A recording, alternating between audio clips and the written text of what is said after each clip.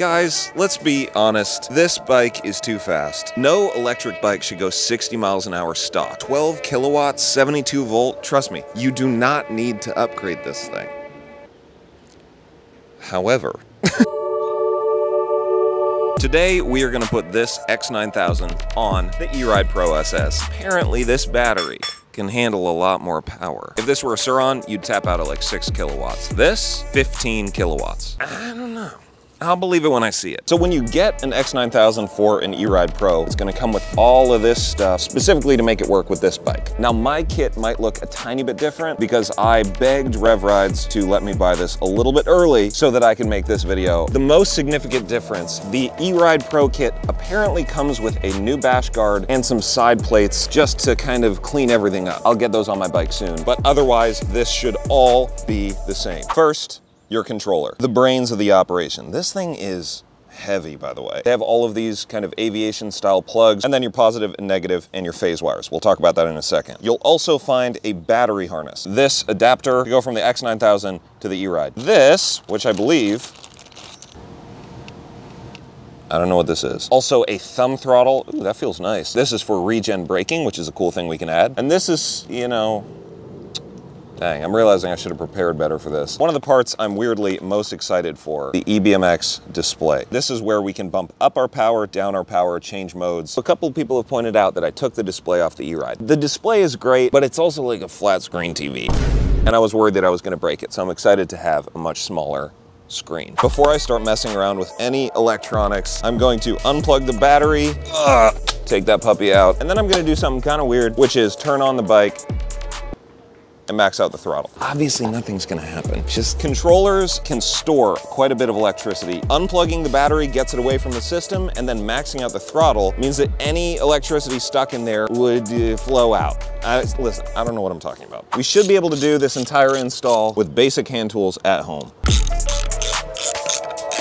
Blue Loctite on the bolts, by the way. Some companies don't do that one more tiny little Allen up here. I'm pretty sure this is a three millimeter for reference. Now is a good time to remove your bash plate. This would be a lot easier if I had a kickstand, which I don't, because I took it off. I do not remember why. By the way, if you're forgetful like me, as you're disassembling the bike, just thread each bolt a couple turns into the part that it came from. Easy, you don't have to, you don't have to remember anything. Now we're gonna start undoing all of the scary wires. Three phase wires, which are color coded, this piece of plastic, I guess, and then a negative and a positive up here. Also a more uh, complex plug right here. That's what talks to kind of the rest of your bike. So you gotta be careful not to break any of these wires. There are a couple wires that run to the negative and to the positive. I'm gonna take off the negative last. I don't know much about grounds, but I don't wanna become the ground. Woo, there it is. This is what an E-Ride Pro controller looks like, if you were curious. Let's get to the cool one. When I installed my BAC 4000 on my Sur-Ron, I basically just wired it up to, you know, all of that stuff. With the X9000, you're replacing a lot more wires, so we gotta get into the head tube of the bike right here. Oh, is that metal? I keep finding things on the E-Ride Pro. I'm not, this is, I'm not, you know, I'm not trying to shell E-Ride Pro here, but this piece on a Sur-Ron is plastic and it breaks. On the E-Ride, it's metal. Anyway, kind of cool.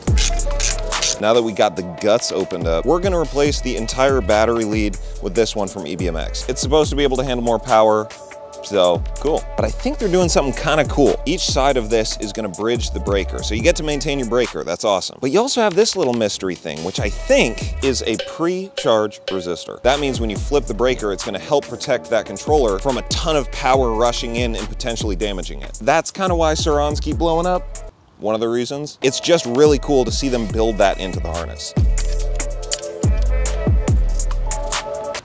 I have a question really quick. What is this thing? That's your Bluetooth adapter. Oh, okay. Logan, did you watch my Sur-Ron install video? I'll go do that right now. Hey, do you want to say hi to the camera? I just realized I'm filming. What's going on, gang? What's going on, gang? Logang here. Everything is connected and I learned a lot. First I connected ground, then the three phase wires, then positive. This thing, uh, don't worry about that. This little aviation style connector goes up to the E-Ride plug. That's the only plug, which is really nice. These harnesses turns out are for Sur-Ron and for Talaria. Last but not least, we plugged in this mystery device. That's for Bluetooth. We're gonna tuck this away so that you can use the mobile app. I think that is everything. I'm pretty sure we just need to like shove everything back together, but I assume that's the easiest part. Before I really put the bike all back together, you gotta make sure it works. Everything's plugged in. Okay, I'm gonna turn it on. Error 18. Uh-oh. I think I figured it out. My thumb regen wasn't plugged in. Oops, my bad. now if I turn it on, no error. If we hit the little up arrow, race one.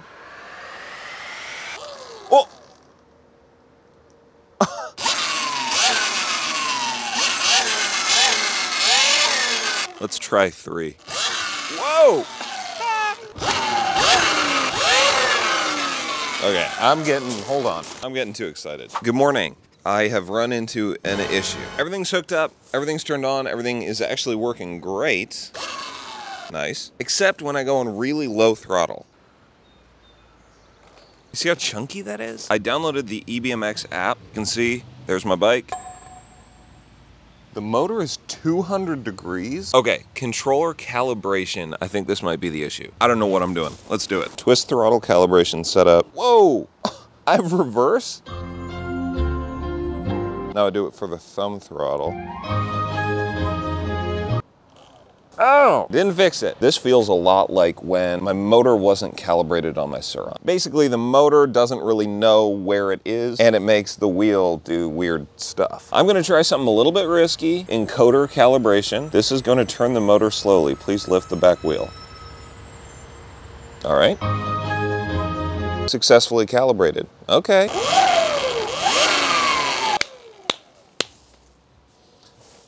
Yes! First ride on the X9000. I'm so excited. In the next video, I'm gonna do a full, like, actual test, but I couldn't wait. Apparently, there is street mode and race mode, and you change that by holding the down arrow. I'm not gonna bother with street mode. Within each mode, you have one, two, and three. So I'm in race one right now. I haven't hit the throttle, but it feels kind of like the stock E-Ride in sport mode, but definitely smoother. I got so worried when it wasn't smooth, but doing a motor tune fixed it, and this thing feels buttery. This is just mode one. I haven't even looked at the settings. They're just stock E-Ride settings. Whoa!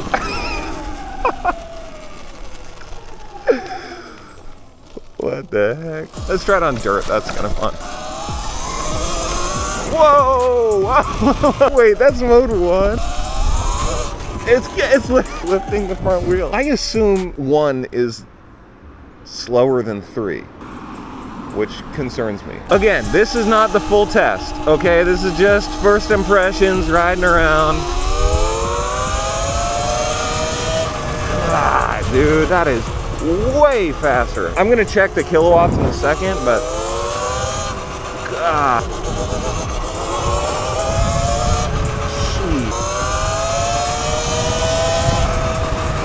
Maybe I shouldn't say faster, because apparently the top speed doesn't actually increase that much, which I know sounds disappointing. I'm gonna test the top speed in uh, the full test, but just like butt dyno, the torque,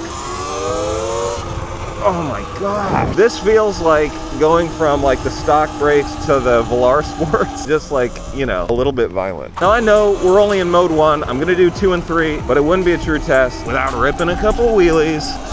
Whoa. Whoa, whoa, whoa, whoa. My wrist is not calibrated for this yet. Easy does it. Whoa.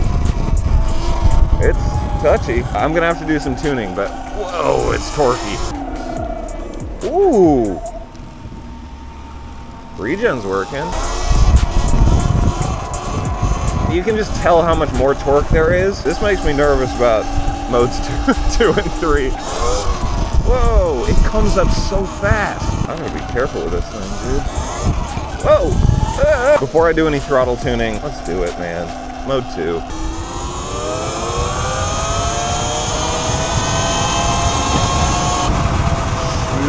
Okay. Unfortunately, That was not full throttle. Oh. I'm not, I'm not exaggerating that. Jeez, man. Oh my God.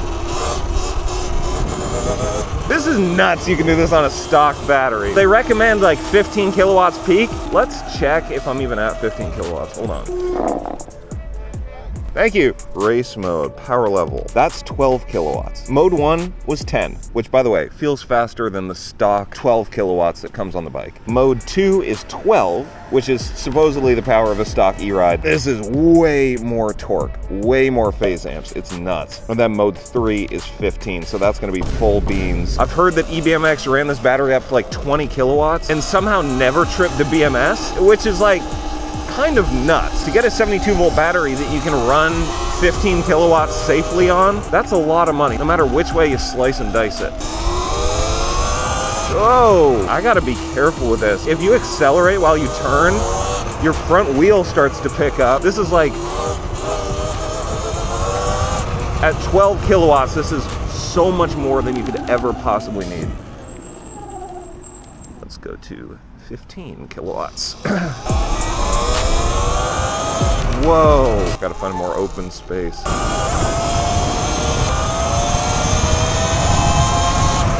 Oh, I'm gonna make a couple changes. Mode one, I'm gonna make beginner mode, 5.6 uh, kilowatts. That's for when a first time rider gets on this bike. Mode two, that's gonna be what I ride in. And I'm gonna go 10 kilowatts. I think 10 kilowatts is kind of perfect for wheelies. You also get a little bit more range. I don't need to be going nutso all over the place. And if I wanna go nutso all over the place, I always have mode 3. Phase amps for mode 1, 250. Phase amps are kind of like your torque. For mode 2, I'm going to go down to, mm, what do you say, 450. And mode 3, 600, baby. Max it out. Reverse strength 50?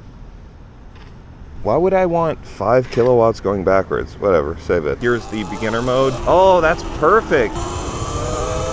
Oh, that's great. It's fun, but you're not gonna loop the bike immediately. So this way I can hand my friend this bike and he won't immediately loop it. Oh, that's awesome. It feels like a really twerky Sur-Ron. Let's see mode two. This is our wheelie slash daily driver mode.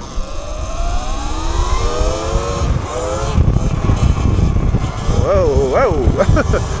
okay, still a little touchy. Off throttle regen, like strength 10, ramping time 50 milliseconds, input deadband, polynomial. I got the throttle set to natural and negative one, so that means at the very start of your throttle, it's really mellow and pretty controllable. And then the deeper you get into the throttle, the more power it gives you. I love that for wheelies. It basically gives you all the power you need to get the front wheel up, but then you can make smaller, smoother adjustments while you're up in the wheelie. It's pretty perfect. Plus, once you're up in the wheelie, let's say you do a combo and get like a little bit low or something like that, you can always just dig into the throttle a little more and bring it back. Sick, dude. And then if you need to get away from a car, you just Dang. Oh, what an upgrade, man. The E-Ride's so good now. Oh. Very narrowly avoided a bad situation right there.